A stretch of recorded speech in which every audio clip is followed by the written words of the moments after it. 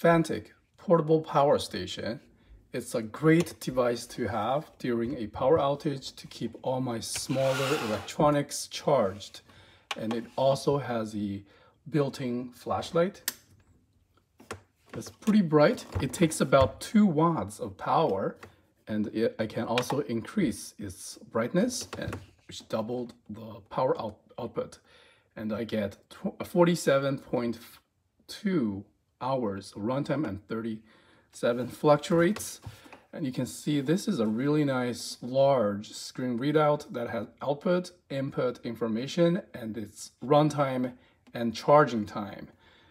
Uh, DC, AC output control are mapped to these two buttons.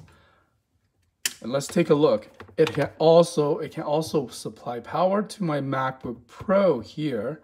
And um, it also, well, another thing, you may miss this. It actually, uh, the Type-C doubles as an input as well, 60 watts input.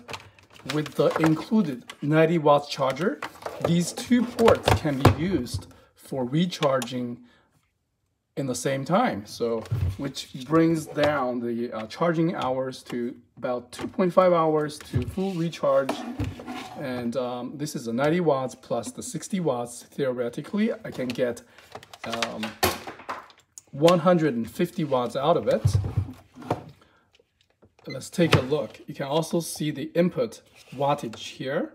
And I, additionally, I will plug in another USB-C 100 watts charger.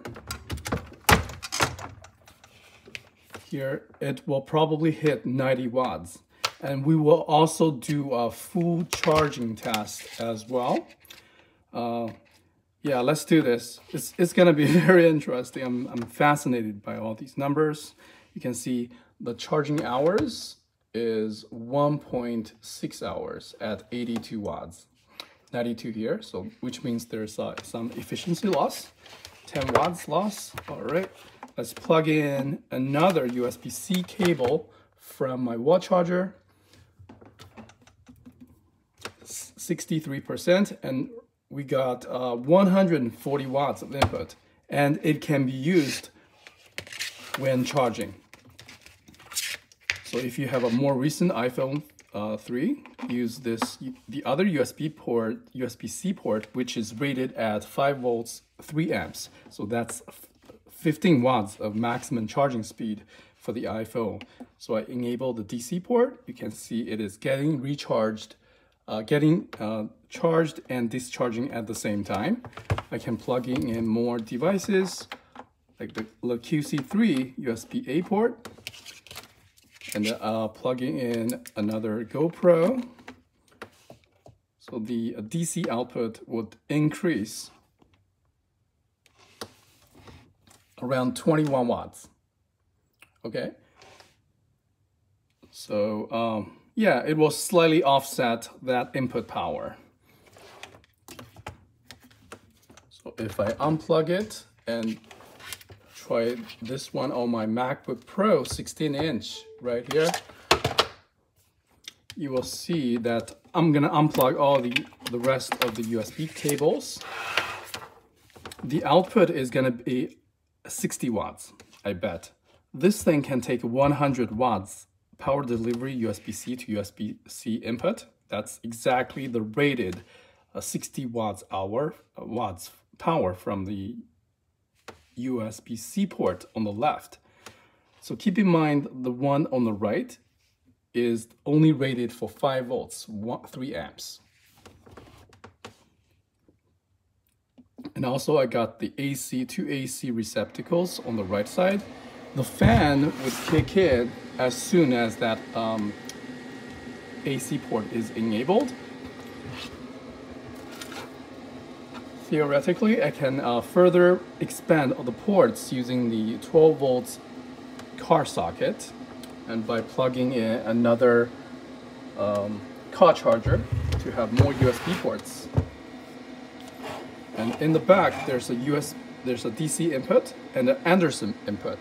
That Anderson port, Anderson port is uh, really uh, more frequently used for solar panel charging It's more like an industrial standard. And the flashlight is also usable when it's getting recharged.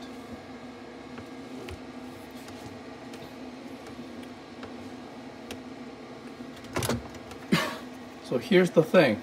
Try to always utilize the DC ports whenever possible and avoid doing something like this, which is less efficient. It would have to run that inverter to convert the DC power to AC, then charge the MacBook Pro. So always charge the MacBook Pro using the USB-C port here instead of running AC power. Although it can handle up to 300 watts continuous output, I believe the peak output is around 600 watts. And the build quality is excellent.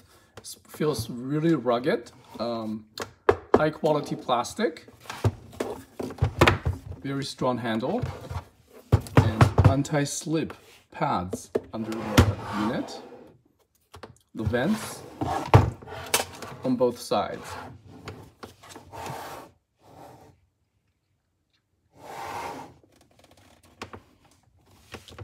And there are two additional US uh, DC ports rated at 12 volts, 5 amps. So that's 60, 60 watts of ports each. Um, yeah. And here we got our time is uh, almost 100 hours. I believe that's because um, I'm providing input. But I'm charging it at, at the same time. If I unplug the charger,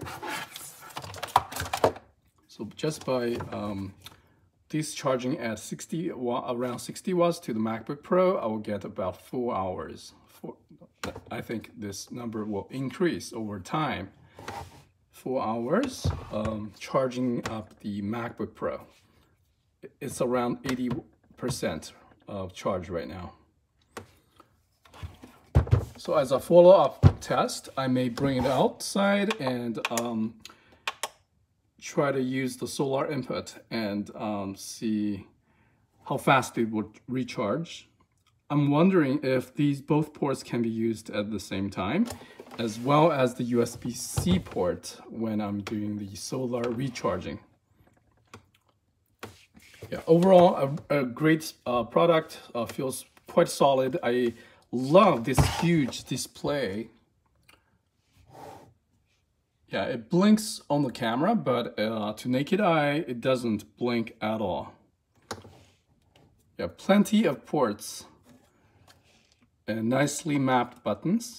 And this uh, display button would be able to turn on and off this display.